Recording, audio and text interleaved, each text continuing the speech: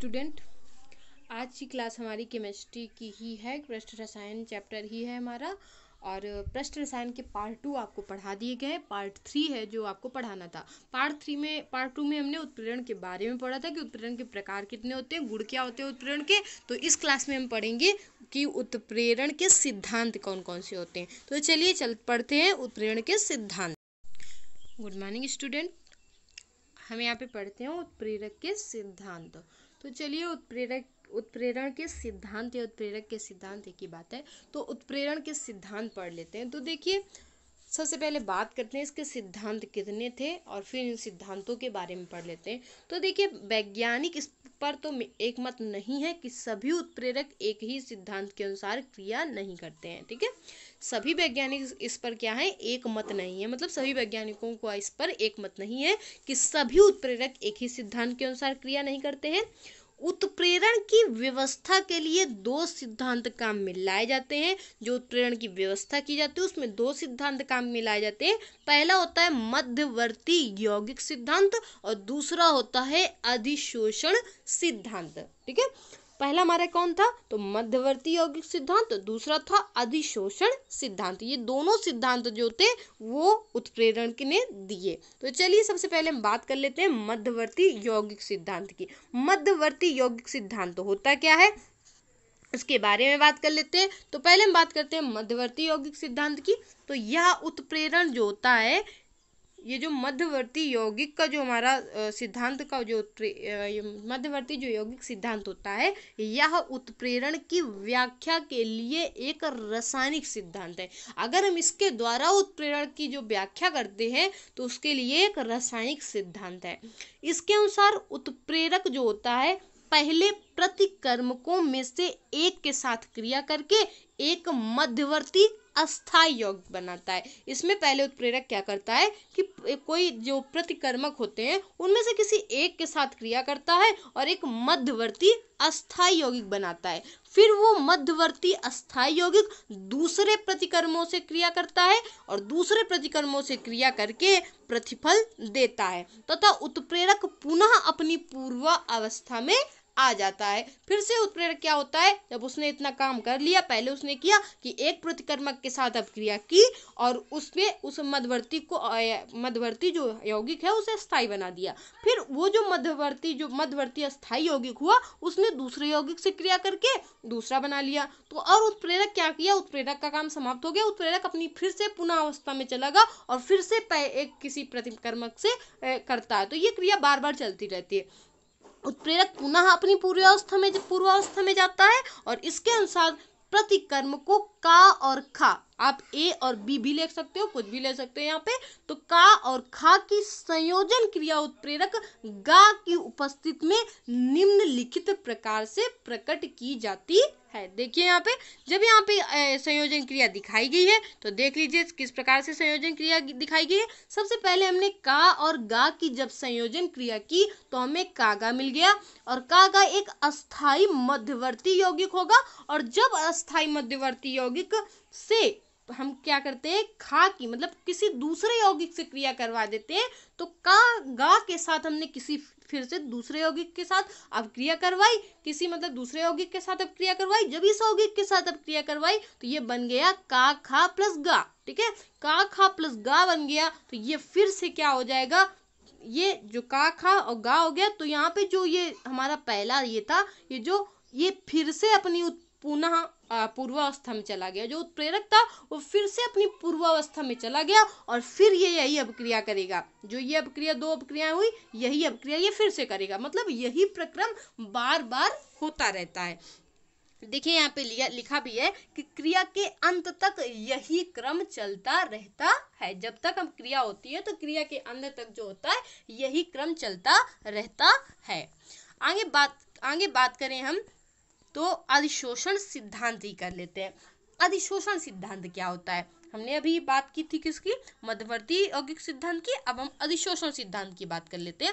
अधिशोषण सिद्धांत क्या होता है? तो यह उत्प्रेरण की व्याख्या के लिए भौतिक सिद्धांत है। जो मध्यवर्ती यौगिक सिद्धांत था, वो एक रासायनिक सिद्धांत था। जो उत्प्रेरण की व्याख्या के लिए, अब यहाँ पे जो अधिशोषण सिद्धांत है, ये उत्प्रेरण की व्याख्या के लिए एक भौतिक सिद्धांत है। इस सिद्धांत के अनुसार प्रतिकर्मक उत्प्रेरक के तल पर घनीभूत हो जाते हैं। जो प्रतिकर्मक होते हैं, वो उत्प्रेरक के तल पर घनीभूत हो जाते हैं। इस प्रकार उत्प्रेरक तल पर प्रतिकर्मकों की सांद्रता बढ़ जाती है।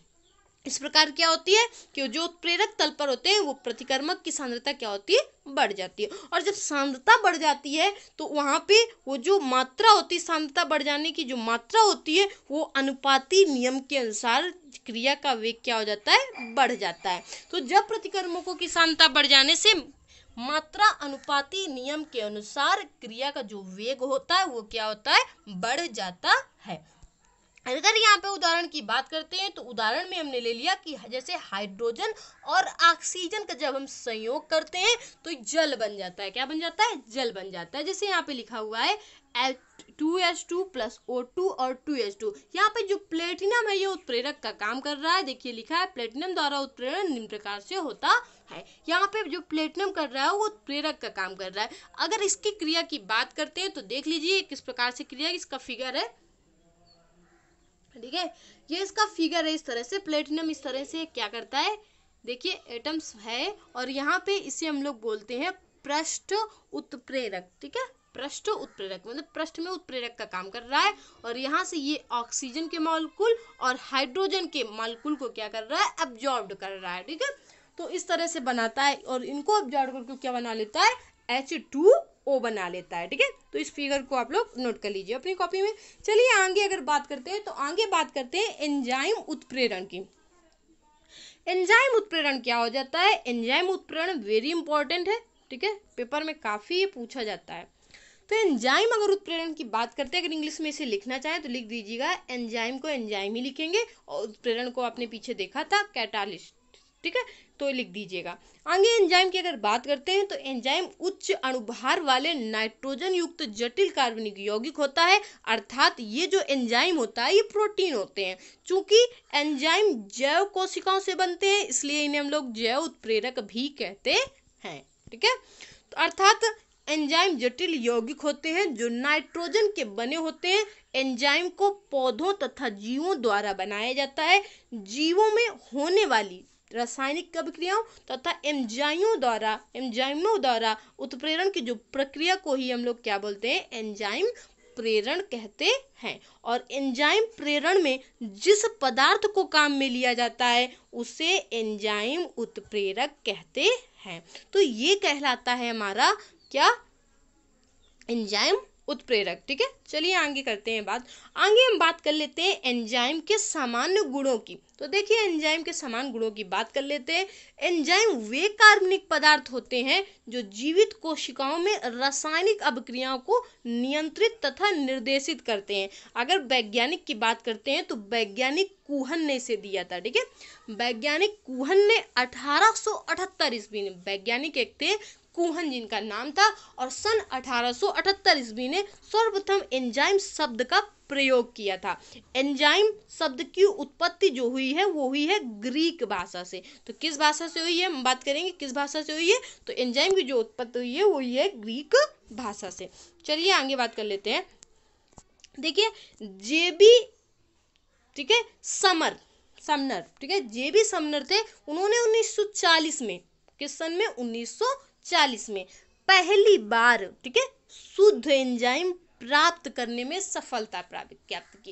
पहले जो एंजाइम एंजाइम जो उनको मिला था, वो अशुद्ध था, लेकिन सन 1940 ईस्वी में एक वैज्ञानिक थे, जे बी समनर, ठीक है, उन्होंने पहली बार शुद्ध एंजाइम प्राप्त करने में सफलता प्राप्त की और रासायनिक दृष्टि से सभी एंजाइम प्रोटीन के बने होते हैं।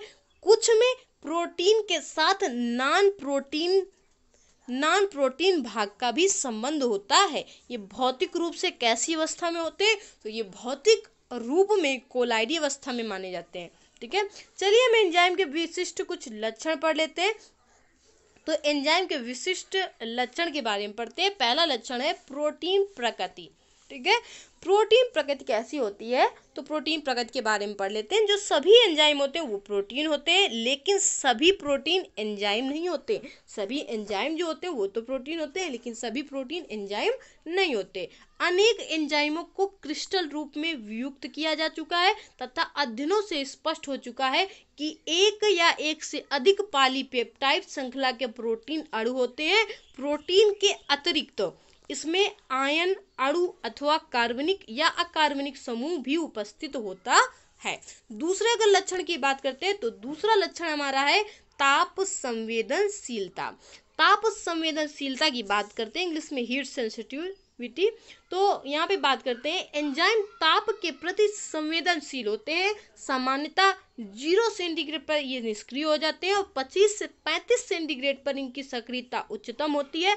उच्च ताप पर 7 से 60 से पैंसठ सेंटीग्रेड पर अधिकतर एंजाइम जो होते हैं वो निष्क्रिय अथवा क्रिया विहीन हो जाते हैं। परंतु शुष्क अवस्था में जैसे बीजों, बीजाणुओं आदि में 100 से 120 सेंटीग्रेड तापमान तक भी इनकी सक्रियता समाप्त नहीं होती है। चलिए आगे बात करते हैं कोलाइडी प्रकृति की।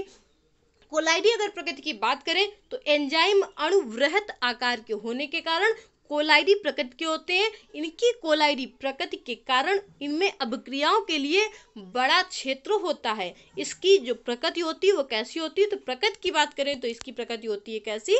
उभय धर्मी। अगर फोर नंबर इसमें बात करते हैं, फोर है उत्प्रेरक प्रकृति। उत्प्रेरक प्रकृति की बात करते हैं तो एंजाइम रासायनिक अभिक्रियाओं को उत्प्रेरित करते हैं तथा एंजाइम इनकी तथा इनकी अत्यंत सूक्ष्म मात्रा क्रियाधार की काफ़ी मात्रा को उत्पाद में परिवर्तन करने की भी क्षमता रखते हैं।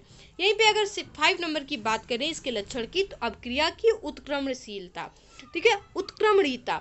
एंजाइम द्वारा उत्प्रेरित अभिक्रियाएँ उत्क्रमणीय होती हैं, जैसे वसा, स्टार्च। ठीक है अगर सिक्स नंबर की बात करें तो सिक्स नंबर में इसका पीएच के बारे में पूछा गया है। पीएच क्या होता है? कैसे एंजाइम को प्रभावित करता है? तो सभी एंजाइम पीएच द्वारा प्रभावित होते हैं तथा विशिष्ट एंजाइम विशिष्ट पीएच परास में पूर्ण क्रियाशीलता प्रदर्शित करता है तथा इस परास के बाहर एंजाइम की जो क्रियाशीलता होती है, वो कम हो जाती है। अगर सेवन नंबर की सिक्स नंबर तक थे। अगर चलिए इनके जो विशेषताएँ वो हमने पढ़ ली। अब इसकी एंजाइम के उत्प्रेरण की क्रिया विधि के बारे में भी पढ़ लेते हैं। ये भी इम्पोर्टेंट है, काफ़ी पूछा जाता है एंजाइम उत्प्रेरण की क्रिया विधि के बारे में। चलिए, पढ़ लेते हैं यहाँ पे। एंजाइम उत्प्रेरण की क्रिया विधि चलिए देखते हैं एंजाइम उत्प्रेरण की क्रिया विधि क्या होती है। एंजाइम के अणुओं में, अगर हम बात करें तो एंजाइम के जो अणु होती है, उनमें अनेक कोटरे होती हैं। क्या होती हैं? कोटरे, ठीक है? ये कोटरे विशेष आकृति की होती हैं, जो अभी आपको दिखाई जाएगी चित्र के माध्यम से, ठीक है? ये जो कोटरे होती हैं, ये विशेष आकृति की होती हैं। इन कोटरों में जो सक्रिय समूह होते हैं, सक्रिय इस तरह से लिखा जाता है, इसमें बड़ी की मात्रा रख गई है तो सही कर लीजिएगा। सक्रिय समूह जैसे N H two C double O H और ओ एच और सिंगल बॉन्ड एस एच ठीक है? स्थित रहते हैं। जहाँ ये समूह होते हैं, उससे हम लोग बोलते हैं सक्रिय केंद्र। यहाँ पे भी छोटी है की मात्रा लगा लीजिएगा। तो उसे हम लोग बोलते हैं सक्रिय केंद्र कहते हैं, ठीक है? क्या बोलते हैं? सक्रिय केंद्र कहते हैं। एंजाइम के सक्रिय केंद्र से, एंजाइम के क्या होता है? तो एंजाइम के सक्रिय केंद्र से परिपूर्वक आकृति के क्रिया कारक के अणु उसी प्रकार से फिट हो जाते हैं, जिस प्रकार से एक ताले में विशेष चाबी फिट होती है। इसलिए हम इसको ताला चाबी का सिद्धांत भी बोलते हैं। इसे क्या बोलते हैं? ताला चाबी का सिद्धांत। कभी कभी ये आपसे पूछ लिया जाएगा, जाता है कि ताला चाबी का सिद्धांत बताइए, ठीक है? तो हमें यही करना होता है। तो इसे हम लोग क्या बोलते हैं? ताला चाबी का सिद्धांत भी कहते हैं। आगे बात कर लेते हैं, अगर इनकी क्रिया की, देख लिए किस तरह से इनकी क्रिया होती है। तो देखिए, इसमें एक होता है एंजाइम तथा एक होता है सबस्टेंट, जिसे बोलते हैं सबस्ट्रेट, या बोलते हैं इसी को क्रिया कारक हिंदी में। इंग्लिश होती है सबस्ट्रेट, ठीक है?